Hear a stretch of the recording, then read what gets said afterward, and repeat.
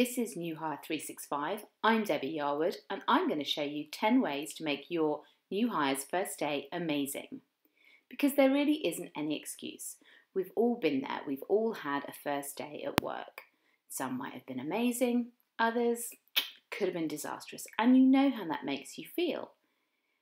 Let's say your new hire is sitting in reception right now. Let's call him Jack. You know how he feels. He is feeling really excited because this is a new chapter in his life and he's ready to get going, but he's also feeling pretty anxious. Will he like the job? Will he even be able to do the job? What if he doesn't gel with the team? Has he just made a massive mistake by resigning from his old job or turning down the other offer he had to come and work for you? This is really important to get right. It's critical not only for Jack but for you too because giving a new hire a great first day at work sets them up for success and it means that you're much more likely to have a loyal, engaged employee going forward. But we have no time to waste. He's waiting. Let's get going. First things first, your new hire's day should always start a little later than yours. Ask them to arrive about an hour into the day. Normally, first days are on a Monday, and we all know what Mondays are like. You're probably turning up for work with the world of worry on your shoulders, wondering how on earth you're going to get everything done today and onboard a new hire. Giving yourself that little bit of breathing space right at the beginning means you can clear some of your email, make yourself a coffee, make sure everything is ready to go for your new hire, and then when he does turn up, you can be 100% present with him with the best intention in the world, it's really hard to do that when you know that there's crisis falling around your head. The first thing you're probably going to do when he turns up is show him to his workspace. So make sure that's clean and tidy. Nothing worse than turning up and having to peel off the photos of your predecessors' beautiful children, cats or goldfish, or clearing away the coffee cups that have been there for two or three weeks already. So, three things you need to do here really Make sure his workspace is clear, make sure all his access is set up for all the systems he needs to use, and why not find some, some goodies that you can give him? Anything with a logo, I'm sure marketing have got something, some notepads, you know the stuff. Leave it on his desk, he's got a bit of a gift when he arrives first thing. This says that you're ready for him, that you're looking forward to him starting, and you've done some preparation. If he turns up and everything's a mess, well, it looks like you've just only remembered he's starting first thing this morning. Before your new hire arrives, make sure that you prep your team. There's nothing worse than turning up and no one really knowing who you are. Ever start a school in the middle of a term? You know how that feels. So make sure your team know his name, his background, what his job is going to be, and, and, and why you've brought him in. And make sure you prep not just your immediate team, but also the team around you. So the people that he's going to interact with on a day to day basis. Nothing feels better if you're walking along the corridor on your first day and someone comes up to you and says, Hey, you must be Jack, first day, good luck. It just means that people have bothered and, and people have really thought about you arriving. Top tip if you can get your CEO or one of the senior management team to come up and, and welcome him by name, bingo, that's dynamite. So, listen up here. This is one of the most important things you can do on day one, and it is overlooked far too often.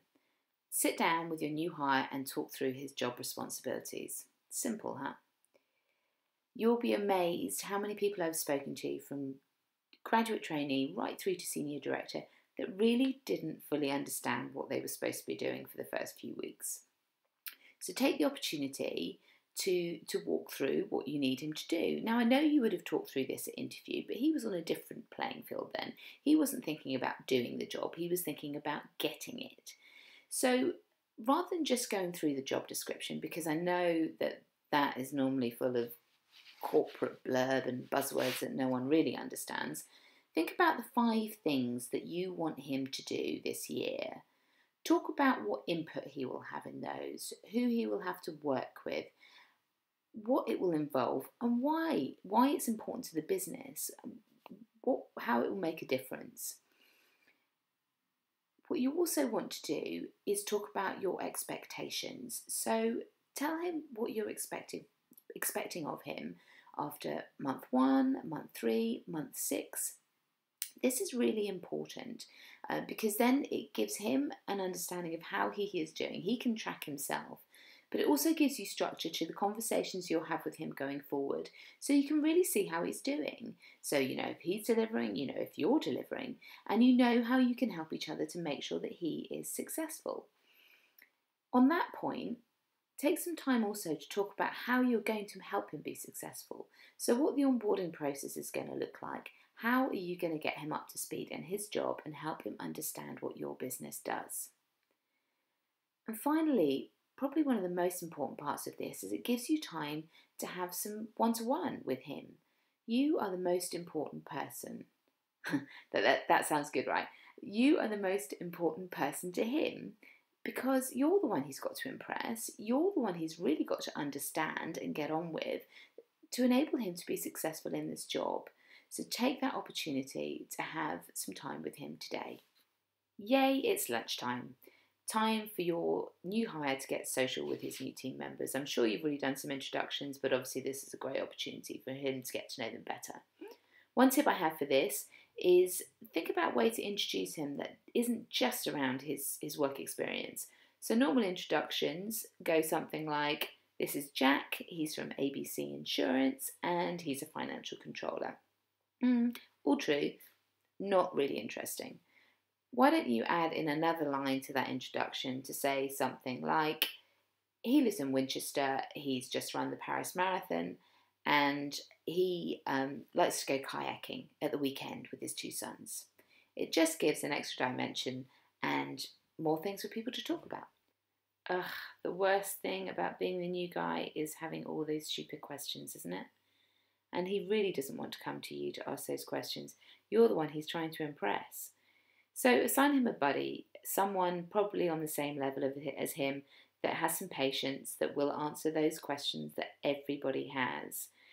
The guy that will be able to have a chat to him after the first few meetings just to help Jack decipher what on earth is going on. So, really worth doing, um, and it really will help him get up to speed quicker. Ah, the paperwork. Try and make this a minimal part of the day. Send out as much as you can beforehand so that he can read the contract and the employee handbook before he even gets there. You've got so many more important things to do today than be buried in paperwork. And if his closest bond of the day is with the HR advisor, you might have it a little bit out of kilter.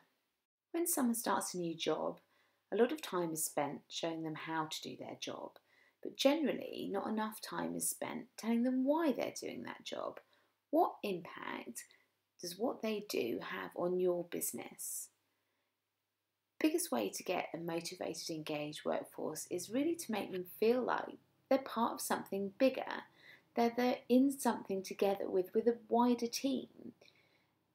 So, the best way to do this is really spend some time letting them learn about your business. This isn't something that you're going to get done and dusted on day one. It's going to be something that you're spreading over the next few weeks and beyond that. It's something you should really be keeping an eye on. Um, but let's kick it off today.